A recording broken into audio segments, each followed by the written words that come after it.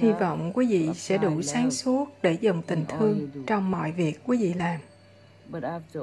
Nhưng sau cùng, nếu quý vị không lắng nghe, không thay đổi lối sống của mình, để làm theo lòng từ bi của quý vị, để đánh thức tia sáng thánh thiện bên trong quý vị, thì tất cả chúng ta có thể cùng diệt vong. Quý vị, tôi, người thân của tôi, của quý vị, toàn thế giới, động vật, con người sẽ biến mất.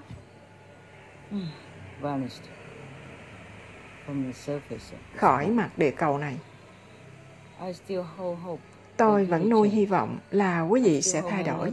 Tôi vẫn dành tình thương cho quý vị và tất cả chúng sinh trên địa cầu. Chỉ trong trường hợp quý vị không thay đổi lối sống của mình, xin hãy nhớ danh hiệu chân chính của tôi khi quý vị ở dưới địa ngục. Hãy gọi tên tim của tu. Đó là tên thật của tôi trên thiên đàng. Để giúp quý vị. Tôi không thể bảo đảm là giúp được. Thứ nhất, trong địa ngục, 99,9% cư dân, những nạn nhân địa ngục, bị trừng phạt dưới địa ngục, không nhớ bất cứ gì hết. Thành ra họ mới tiếp tục ở dưới địa ngục. Một số là vĩnh viễn. Bởi vì khi họ đọa địa ngục, họ bị làm cho quên hết giống y như khi chúng ta ra đời trên địa cầu này. Chúng ta bị làm cho quên hết. Tưởng tượng trong kiếp này chúng ta không đau khổ nhiều như trong địa ngục mà chúng ta vẫn quên. Quên rằng Thượng Đế đã nói không được sát sinh. Quên giáo lý của Chúa Giêsu. Quên giáo lý của Kinh Thánh. Quên giáo lý của Phật. Chúng ta nói chúng ta là Phật tử, là tín đồ Thiên Chúa giáo, tín đồ Hồi giáo, tín đồ Đạo Sikh, tín đồ Ấn Độ giáo, vân vân, vân vân. Nhưng chúng ta không làm những gì mà Thầy chúng ta dạy nên làm. Như luật của vũ trụ, người không được sát sinh, người không được gây tổn thương cho chúng sinh khác hoặc những gì người không muốn.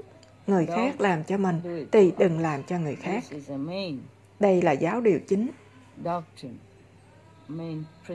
nguyên tắc chính của tất cả các tôn giáo trên địa cầu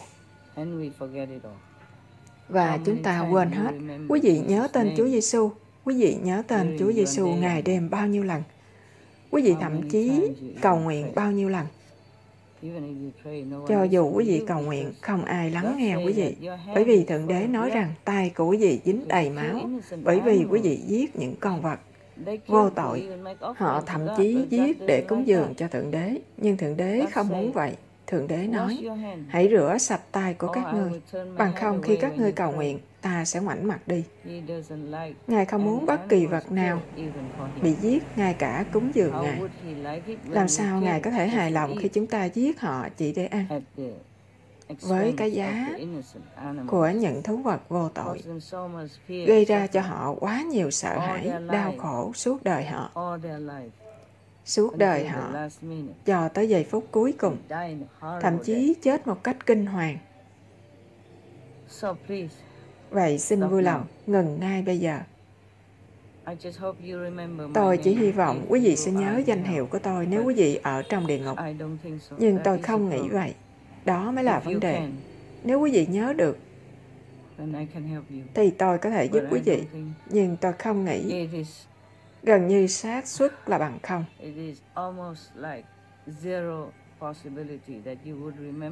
Là quý vị có thể nhớ tên của bất kỳ vị thánh nào trong quá khứ, hiện tại hoặc vị lai. Bởi vì hoàn cảnh ở địa ngục, bởi vì sự kinh sợ xung quanh, bởi vì sự đau đớn gây ra cho quý vị là không ngừng bất tận, lặp đi lặp lại, lặp đi lặp lại mãi. Nhưng quý vị sẽ không chết, quý vị cứ phải sống để chịu đau khổ. mỗi sát na. Cho nên quý vị không thể nhớ bất cứ gì ngoài việc mình đang ở trong địa ngục và sự đau đớn. Nó làm cho quý vị quên hết. Nên tôi cảm thấy thật sự thương tiếc, tưởng tượng rằng quý vị phải đau khổ quá nhiều nếu quý vị đọa địa ngục. Xin hãy thay đổi đời sống quý vị bây giờ. Tiền không phải là tất cả. Thượng đế mới là tất cả. Hãy kính sợ Thượng đế. Đừng gây ra quá nhiều đau đớn cho kẻ khác bởi vì họ đều là con cái của Thượng Đế. Chúc quý vị may mắn. Nếu quý vị phải đọa địa ngục và chúng tôi, loài người và các loài khác tôn sùng Thượng Đế, cầu nguyện cho quý vị thức tỉnh. Thương quý vị, Thượng Đế bảo vệ. Và chào tạm biệt. Cầu mong Thượng Đế giúp quý vị sớm thức tỉnh. Cầu mong Thượng Đế cứu linh hồn quý vị sau khi thức tỉnh. Cảm ơn quý vị và cảm ơn tất cả ai lắng nghe. Chúc quý vị vạn sự lành. Amen.